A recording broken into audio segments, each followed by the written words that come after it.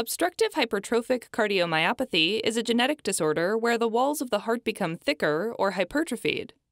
While it might seem a thicker heart is a good thing, the larger muscles prevent the ventricles, the two lower chambers of the heart, from fully relaxing between contractions. In addition, the walls of the heart are stiffer and less compliant, so they can't stretch out as much. This reduces the amount of blood that gets into the heart, lowering the cardiac output or the amount of blood pumped out of the heart per minute. Usually, the left ventricle is more affected, and in most cases, muscle growth is asymmetrical, meaning that the wall between the two ventricles, called the septum, grows larger relative to the free wall.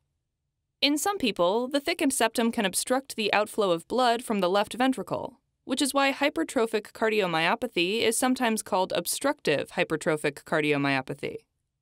In these cases, the blood that comes out of the left ventricle is forced through a smaller opening, which creates a pulling effect on the nearby mitral valve that further obstructs the outflow of blood.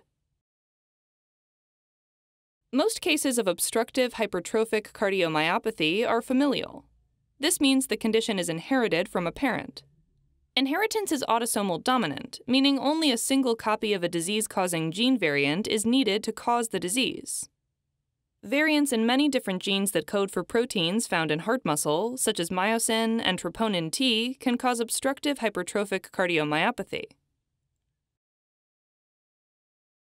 Symptoms of obstructive hypertrophic cardiomyopathy can begin at any age, but they most often start in early adulthood. Over time, the heart becomes unable to do its job effectively, leading to signs of heart failure, such as excessive tiredness and shortness of breath, especially during exercise.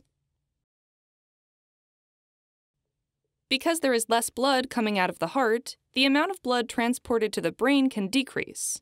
This may cause fainting. Individuals are also more prone to developing arrhythmias, or irregular heart rhythms, which can sometimes be life threatening.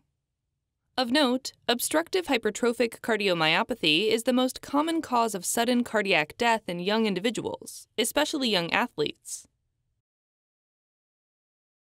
Diagnosis is considered based on assessment of the patient's symptoms and family history.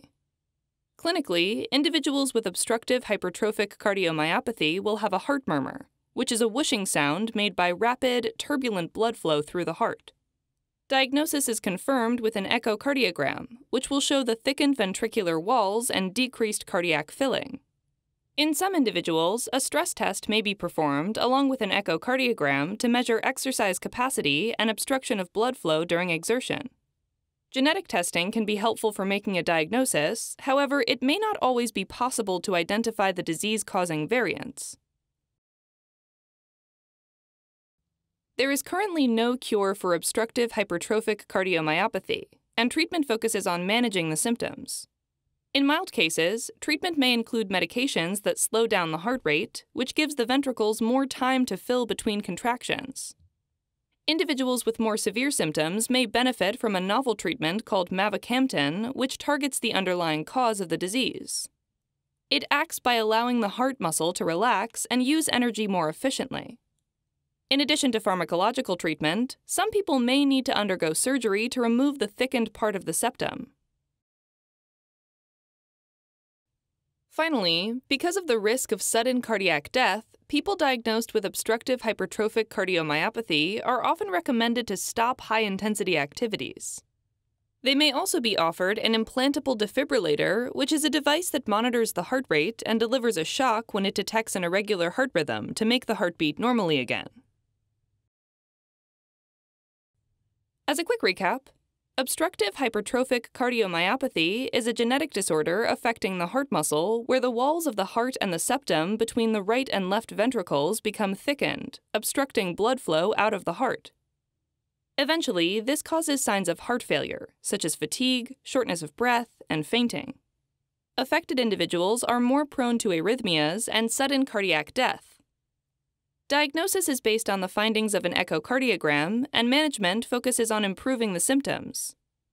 Because of the risk of sudden death, individuals may be advised to cease any high intensity activities and be offered an implantable defibrillator.